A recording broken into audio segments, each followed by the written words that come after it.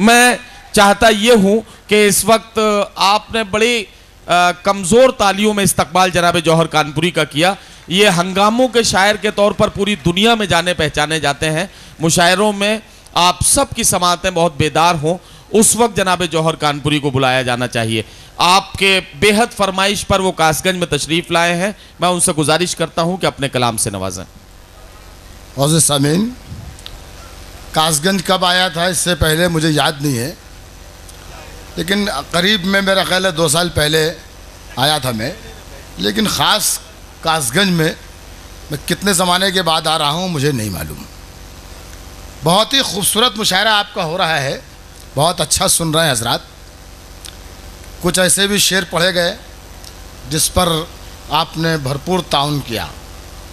देखिए, कहीं फसाद हो जाते हैं, कहीं कत्ल हो जाते हैं, घर जल जाते हैं, बम ब्लास्ट हो जाते हैं। हुकूमतें और सरकारें ये कहती हैं कि ये सब शरपसंदों का काम था। ये बिल्कुल सही है कि जिस वक्त आग लगी, जिस वक्त फसादात होते हैं, आपका हाथ नहीं होता। लेकिन उसके बाद का काम आपका है। अगर आप उस काम को भी नहीं करते, तब फिर हमारा कलम उठता है। हम सरकारों पर कोई तंज नहीं करते, सिस्टम के ख़िलाफ़ ज़रूर आवाज़ उठाते हैं, वरना अगर हम सियासी पार्टियों के ख़िलाफ़ होते, रहनुमाओं के ख़िलाफ़ होते तो ये जो सरकार अभी बनी है और जो सरकार गई तो हम ये नहीं कहते कि गुरगुरो, तमकनत का ज़ोर कम करना भी आता है। जब ये आपकी सरकार बनी, आपकी सरकार को हमारे ताउन से बनाया गया।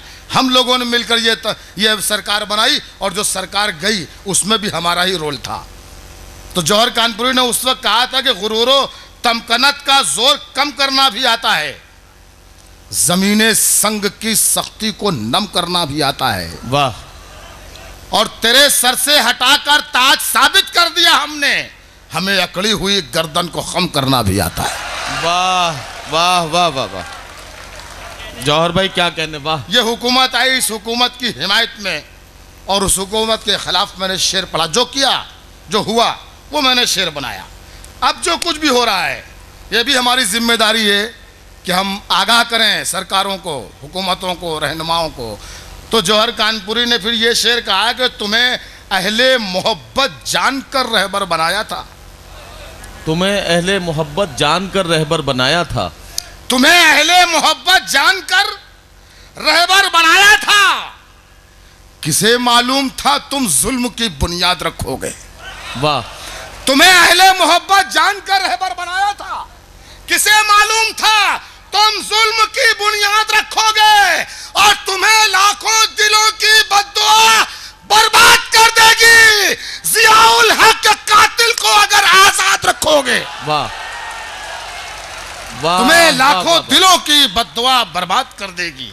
वाह वाह वाह वाह। जियाउल हक के कातिल को अगर आज़ाद रखोगे हर कदम फूंक के रखिएगा नए राह बरो। हर कदम फूंक के रखिएगा नए राह बरो। नियतें बिखरी तो दरबार बिखर जाएगा। हर कदम फूंक के रखिएगा नए राह बरो। नियतें बिखरी तो दरबार बिखर जाएगा। और हमसे इंसाफ न कर पाए अगर आप तो फिर आपके सर से भी ये ताज उतर जाएगा। हमसे इंसाफ न कर पाए। अगर आप तो फिर जौहर भाई क्या कहना? वाह वाह वाह वाह। हर कदम फूंक के रखिएगा नए रहा बरो ये चौधरी नूरुल हसन साहब का हुक्म है मैं फिर हाजिर कर रहा हूँ। समाज फरमाइए बड़ी मेहनतें की मुशायरे में। बहुत बढ़िया खाना भी खिलवाया आपने। कासगंज खाने के लिए ज़रूर बुलाइएगा मुशायरे में बुलाई चाहे ना बुलाई। हर कदम फूंक के रखिएगा नए रहा बरो नियतें बिखरी तो दरबार बिखर जाएगा।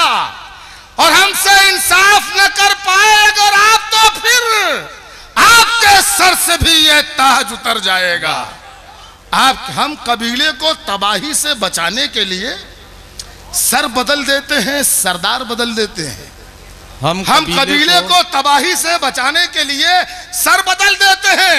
सरदार बदल बदल देते हैं। मशवरा यह है कि हमसे न उलझिए साहब। हम वो पागल हैं जो सरकार बदल देते वाह। मशवरा यह है कि हमसे न उलझिए। साहब। मशवरा यह है फिर हाजिर करता हूँ। हम कबीले को तबाही से बचाने के लिए सर बदल देते हैं सरदार बदल देते हैं। मशवरा यह है कि हमसे न साहब। हम वो पागल हैं जो सरकार बदल देते हैं। वाह। हम वो पागल हैं जो सरकार बदल देते हैं। आइए यहाँ से जो शायरी अब शुरू की जाए।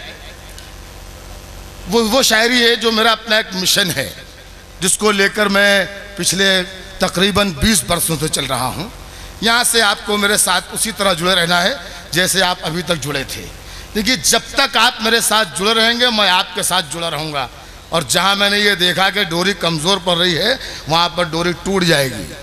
मैं अपनी जगह ले लूँगा, आप अपनी जगह तो है ही। हैं मैं मैं हाजिर कर। अरे, ये सब बोलना पड़ता है। हाँ इससे ज़रूरी नहीं है कि जो कुछ बोल रहा हूँ, वही सब सच हो। कभी कभी हम लोग भी अखबार वाले हो जाते हैं। मशवरा ये है कि हमसे न उलझिए साहब। हम वो पागल हैं जो सरकार बदल देते हैं। एक मतलब एक शेर और इस मौके पे याद आ गया। तो पहले वो पढ़ दूँ उसके बाद आगे का सफ़र और तय करता हूँ कि जब चराग उसने जलाने की इजाज़त दी है जब चराग उसने जलाने की इजाज़त दी इजाज़त दी है खुद हवाओं ने तहफ़ुज़ की जमानत दी है। खुद हवाओं ने तहफ़ुज़ की जमानत दी है और मेरी आवाज़ दबाने से नहीं दब सकती। मेरी आवाज़ को अल्लाह ने ताकत दी है। मेरी आवाज़ दबाने से नहीं दब सकती। मेरी आवाज़ दबाने से नहीं दब सकती। मेरी आवाज़ को अल्लाह ने ताकत दी है। मेरी आवाज़ को अल्लाह ने ताकत दी है। आइए। और इस शायरी से जुड़िए। जो शायरी ज़रूरी है जो शायरी म, म, का ये मुशायरे का जो मकसद है जो महफिल का मकसद है जो आज हिंदुस्तान को जिसकी जिस फ़िक्र की ज़रूरत है पेश करता हूँ समात फरमाइएगा। अर्ज़ किया है कि वतन की सरजमी को अमन का दर्पण बनाना है। वतन की वो सब काम अहले सियासत का ये शायरों का काम यहाँ से शुरू होता है समाज फरमाइए। वतन की सरजमी को अमन का अमन का दर्पण बनाना है। जो शाखें नीम की हैं अब उन्हें चंदन बनाना है। वाह। वतन की सरजमी को अमन का दर्पण बनाना है। जो शाखें नीम की। हैं अब उन्हें चंदन बनाना है। हमें जल्दी निकालो मंदिरों मस्जिद के झगड़ों से। हमें बच्चों के मुस्तकबिल को भी रोशन बनाना है। हमें जल्दी निकालो मंदिरों मस्जिद के झगड़ों क्या से। कहना जौहर भाई? वाह हमें वाह। जल्दी निकालो मंदिरों मस्जिद के झगड़ों से। हमें बच्चों के मुस्तकबिल हमें बच्चों के मुस्तकबिल को भी रोशन बनाना है। वाह। हमें बच्चों के मुस्तकबिल को भी रोशन बनाना है। एक चार मिसरे हैं साहब, वो बिल्कुल नए हैं। और मैं सिर्फ़ यहाँ पर इसलिए पढ़ना चाह रहा हूँ कि मुझे किसी तरह याद हो जाएँगे तो मैं आगे भी इसको पढ़ूँगा। दाद वाद अगर कुछ कहा हो, देखिए, कौमी एकता की शायरी पिछले बीस बरस से कर रहा हूँ। लेकिन कहीं कहीं ज़रा टेढ़ा हो जाता हूँ। बस। कहीं कहीं टेढ़े पंथे शेर कौमी एकता के कह देता हूँ तो ये ज़रा टेढ़ा है। दोस्ती का चाहतों का हाथ में परचम रहे। दोस्ती का चाहतों का हाथ में परचम रहे। धूप नफरत की न निकले प्यार का मौसम रहे। वाह। दोस्ती का चाहतों का हाथ में परचम रहे। धूप नफरत की न निकले प्यार का मौसम रहे। मजहबों के नाम पर हमको लड़ा देते हैं जो। वो गुजर जाए तो अपनी एकता कायम रहे। वाह वाह वाह वाह। जो वाह, धीरे वाह। से पढ़ दिया दांत भी आपने धीरे से दे दिया। ये बड़ा मसला है। अच्छा ज़ोर लगाऊँगे आप? दोस्ती का दोस्ती का चाहतों का हाथ में परचम रहे। धूप नफरत की न निकले प्यार का मौसम रहे। मजहबों के नाम पर हमको लड़ा देते हैं जो वो गुजर जाए तो अपनी एकता कायम रहे। वो गुजर जाए तो अपनी एकता कायम रहे। देखिए, ये शायरी, ज़िंदा रहने वाली शायरी, वो शायरी जो इससे पहले मैं पढ़कर गया था, वो वक्ती शायरी है। यहाँ से आप जाएँगे, कुछ दिन याद रखेंगे, शायद कुछ दिन, लेकिन उसके बाद हालात बदलेंगे, सरकारें बदलेंगी, और आपकी सोच बदल जाएगी, और ये शायरी आपके जहन से मिट जाएगी। लेकिन शायरी जो किताबों में लिखी जा सकती है उस पर हो सकता है कि आप बहुत दाद न दें, लेकिन असली शायरी वही है। तो ये शायरी मैं सिर्फ़ इसलिए आपको सुनाना चाह रहा हूँ कि धीरे धीरे आप अच्छी शायरी की तरफ़ पूरी तरीके से लौटें। किसी ज़माने में सिर्फ़ और सिर्फ़ शायरी हुआ करती थी मुशायरों में, लेकिन अभी मुशायरों का रुख पिछले तीस, पैंतीस बरस से काफ़ी बदला। फिर बीच में कुछ सुधार पैदा हुआ, लेकिन फिर बिगड़ता जा रहा है। तो मैं चाह रहा हूँ कि कुछ शायरी वो सुनाऊँ अब आपको और आपको बताऊँ कि देखिए शायरी यही है इस तरफ़ लौटिए इस तरफ़ लौटिए यही ज़िंदा शायरी है। मतलब ये पेश कर रहा हूँ और मैं इकरार कर रहा हूँ। मैं मुशायरे का शायर हूँ और अभी अभी ये सब शेर सुना कर गया हूँ हंगामा मचा के गया मचा चुका हूँ और फिर ये बात स्वीकार करता हूँ मैं इसको इसका एतराफ़ करता हूँ। अक्सर नदीम फर्रुख साहब जी। लिखा पढ़ी छोड़ दो। एक मिनट के लिए? जी जी जी बिल्कुल। थोड़ी देर के लिए। अब आपका ही मुशायरा है। ज़रा सा कुछ होने में बर, बर्बाद हो जाता चौधरी जी जी जी। हाँ। अक्सर मुशायरों में जो कोहराम कर गए ये बिल्कुल सच्चा शेर है ये।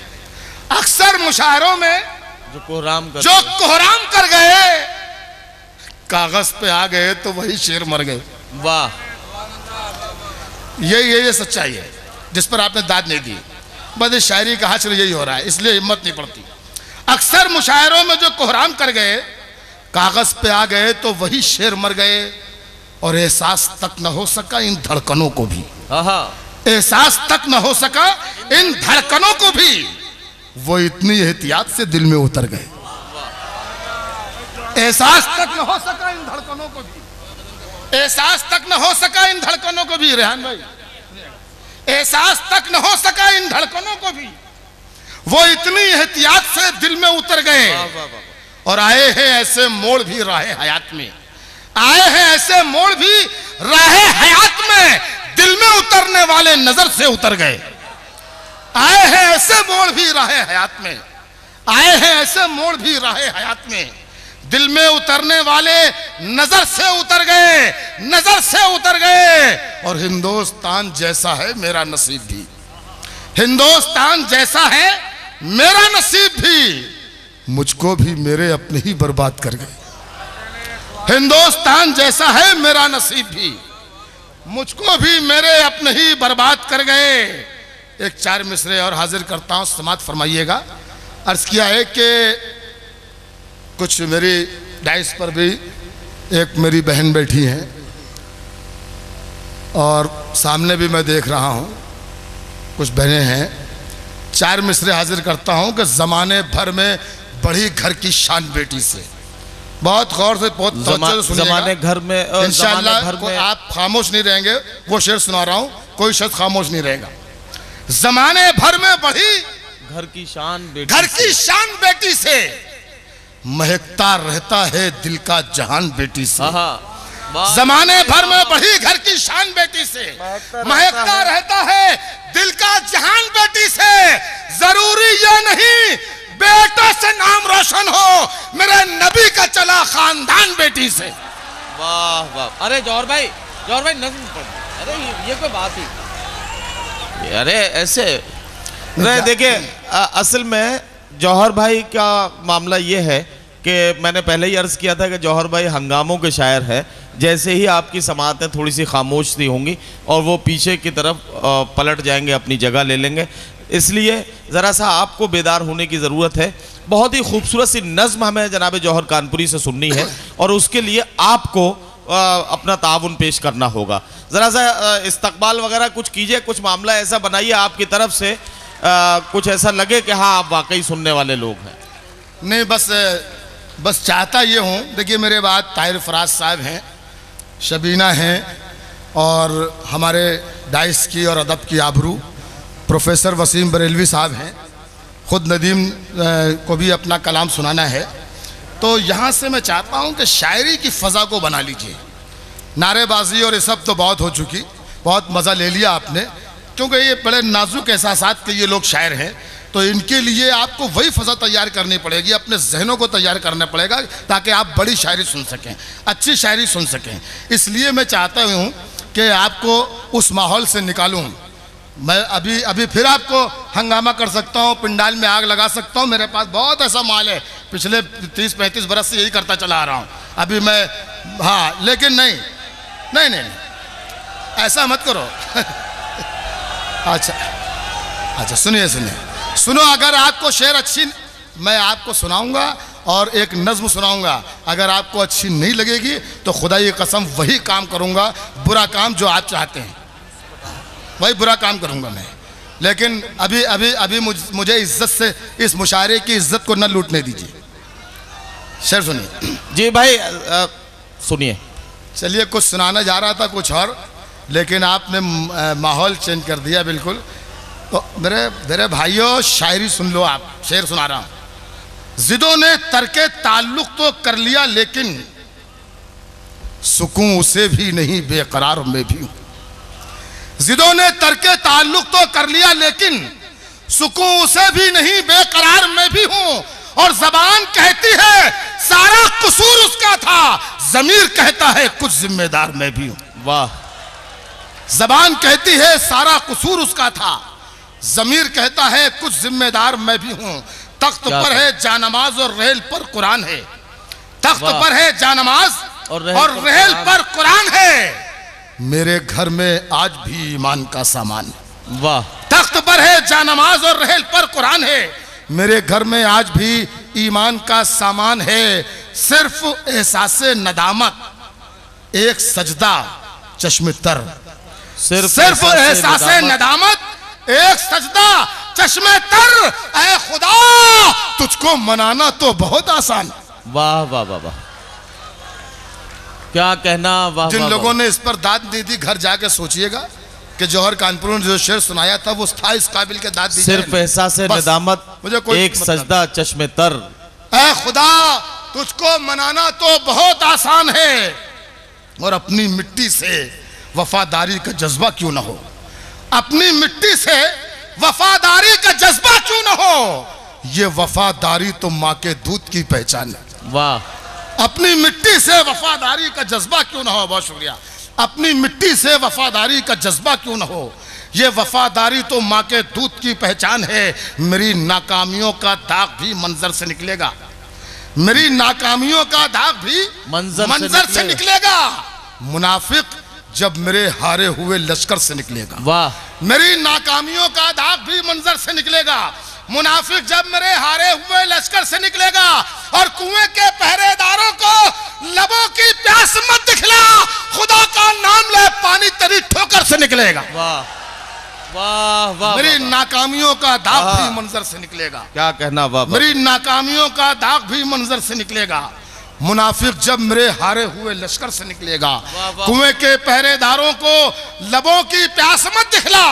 खुदा का नाम ले पानी तेरी ठोकर से निकलेगा। एक नज्म पढ़ रहा इन दिनों। इस नज्म का उन्वान है अमीरी का नशा। हर रंग की शायरी अभी तक आपने सुनी। सियासी सुनी जज्बाती सुनी और गदल की शायरी सुनी। ज़रा सा अलग हट के समाज फरमाइए समाजी शायरी। इस नज्म का उन्वान है अमीरी का नशा। आपके और हमारे घर की कहानी जौहर कानपुरी पेश कर रहा है। जी जौहर भाई। नज्म ना अच्छी लगे एक भी शख्स दाद नहीं देगा लेकिन अगर नज्म यहाँ जाके लग जाए तो फिर गुजारिश ये है कि कोई शख्स भी खामोश नहीं रहेगा जहाँ पर नज्म टूट रही है। समाज फरमाइएगा। नज्म यहाँ से शुरू करता हूँ कि हमें है हमें है याद अब तक वो लड़कपन का जमाना था। वाह। तमाम अफिसरान हमारे सामने बैठे हैं डाइस पर। हमें है याद अब तक रेहान भाई लड़कपन का जमाना था। बहन रजिया साहिबा हैं। सबको शरीक करता हूँ आप सबको शरीक कर रहा हूँ समाज फरमाइए भाई। हमें है याद अब तक वो लड़कपन का जमाना था। हमारे भाई और बहनों के बचपन का जमाना था। बहुत छोटा सा एक कमरा था जिसकी छत टपकती थी। बड़ी मुश्किल से बरसातों की हर एक रात कटती थी। सुलाती थी कभी बहनों को माँ आंचल के चिलमन में कभी अब्बू छुपा लेते थे हमको अपने दामन में कभी यूँ भी हुआ बांधे सभी ने पेट पर पत्थर कभी सबने गुजारा कर लिया दो चार लुकमों पर। मगर सबको मोहब्बत के असर ने बाँध रखा था। हमें मिट्टी के उस छोटे से घर ने बाँध रखा था। सभी एक दूसरे की चाहतों में घुल कर रहते थे। गरीबी थी मगर हम लोग सब मिलजुल कर रहते थे। वाह वाह वाह वाह। वाह वाह वाह वाह वाह। बहुत शुक्रिया। क्या कहना जौहर भाई? वाह वाह वाह। बहुत शुक्रिया। बस इसी तरीके से मैं चाहूँगा इसी मोहब्बत सुन ली है नजमा। गरीबी थी सभी एक दूसरे की चाहतों में घुल के रहते थे। गरीबी थी मगर हम लोग सब मिलजुल के रहते थे। वाह वाह वाह। अमीरी आई खुशहाली ने सब चेहरे बदल डाले। अमीरी आई खुशहाली ने सब चेहरे सब बदल चेहरे डाले। बदल डाले। फकत चेहरे नहीं दिल जहन और जज्बे बदल डाले। मकान सबने बनाए और सब यूँ घर में जा बैठे। मकानों की चमक में खून के रिश्ते भुला बैठे। वाह। मकान सबने बनाए और सब यूँ घर में जा बैठे। मकानों की चमक में खून के रिश्ते भुला बैठे। पड़ोसी गैर है ये सोचकर मसरूर रहते हैं। बहुत खुश हैं। कि अपने भाइयों से दूर रहते हैं। गुरूर और तमतनत की झील में उतरे हुए हैं हम।